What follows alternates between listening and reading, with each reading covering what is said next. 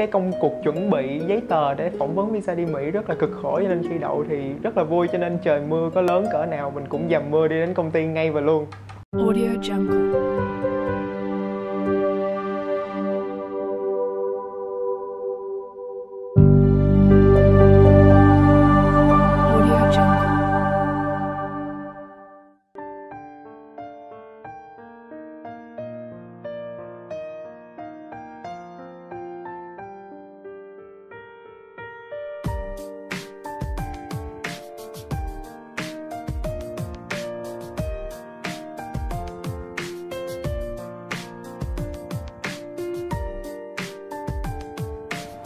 À, xin chào các bạn, mình tên là Trần Hồng Quang, mình năm nay mình được 18 tuổi và mình vừa mới tốt nghiệp tại trường Trung học phổ thông chuyên Lê Hồng Phong và bây giờ mình đang học tại trường Đại học Khoa học Tự nhiên.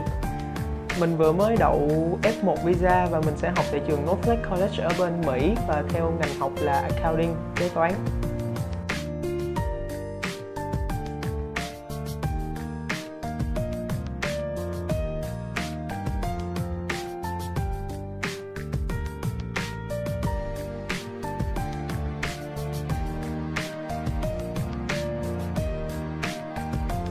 Trước khi phỏng vấn khoảng 3 ngày mình nói thiệt là ở nhà mình rất là run. Khi đi học mình cũng không có chú tâm vô học nữa mà trong có cứ hồi hộp trong lòng hoài. Nhưng mà khi mà đi đến uh, lãnh sự phỏng vấn và lấy dấu phân tay xong thì mình tự bình tĩnh bản thân lại. Mình không được run trước mặt lãnh sự. Và sau khi phỏng vấn xong thì biết được tin mình đậu visa thì rất là vui luôn.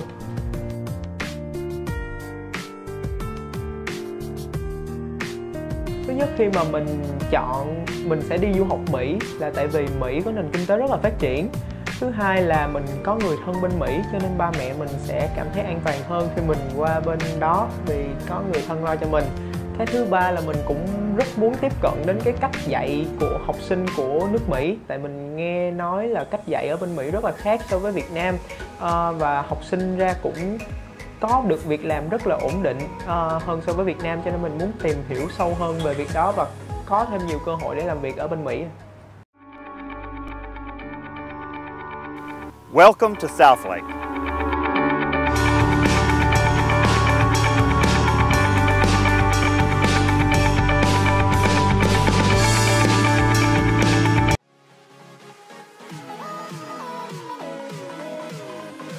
Từ năm cấp 3 thì mình mới có định hướng đi du học bên Mỹ và lúc đầu thì gia đình mình nói đi du học bên Mỹ thì sẽ mất luôn một người con cho nên không muốn cho đi. Nhưng mà mình đã thuyết phục ba mẹ là đi qua Mỹ thì mình cũng sẽ có cơ hội trở về Việt Nam thăm ba mẹ mỗi dịp hè. Và ngoài ra thì ở bên Mỹ mình học tốt thì mình sẽ có tương lai hơn so với ở Việt Nam thì mình cũng là một học sinh khá là giỏi trong lớp, cho nên mình muốn có thêm nhiều cơ hội để thể hiện bản thân và cái thứ ba là đi qua bên Mỹ cũng có người thân lo cho mình cho nên ba mẹ không cần phải lo về cái sự an toàn của mình khi ở nơi đất khách quê người và cái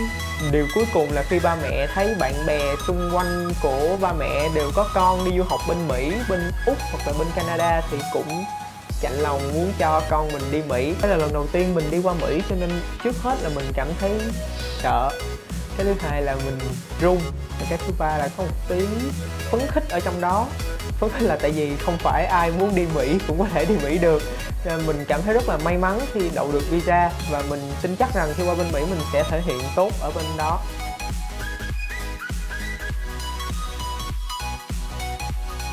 Trường Northwest College ở Texas rất là nổi tiếng. Thứ nhất là tại vì trường rất là lớn, có tới 4 campus và cái trường đó quy mô lớp học rất là tiện lợi và hỗ trợ tốt nhất cho sinh viên. Và trường Northwest có hồ bơi, có phòng thí nghiệm, có 28 câu lạc bộ, trong đó có câu lạc bộ hát, múa, nhạc kịch, câu lạc bộ nhảy cheerleading. Và mình rất thích những cái outdoor activity, những hoạt động ngoài trời như vậy.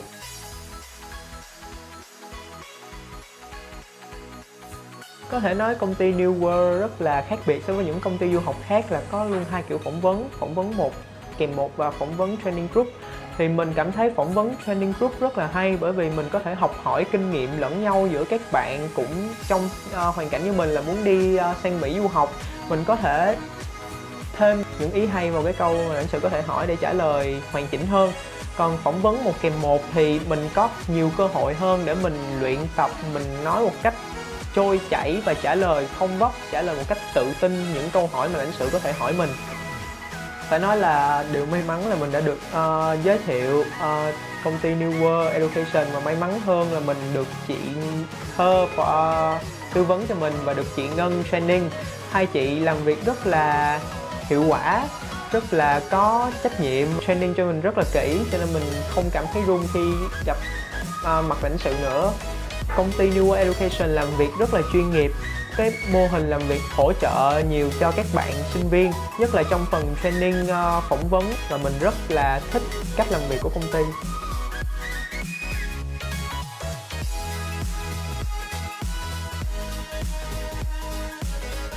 Mình tin chắc rằng là mình sẽ làm cực kỳ tốt khi ở bên Mỹ và mình sẽ sử dụng cách các khoản tiền ba mẹ đầu tư cho mình một cách khôn ngoan nhất có thể và con cũng xin hứa với ba mẹ, qua bên đó con sẽ học thật giỏi, thật tốt và sẽ làm việc thật là chăm chỉ.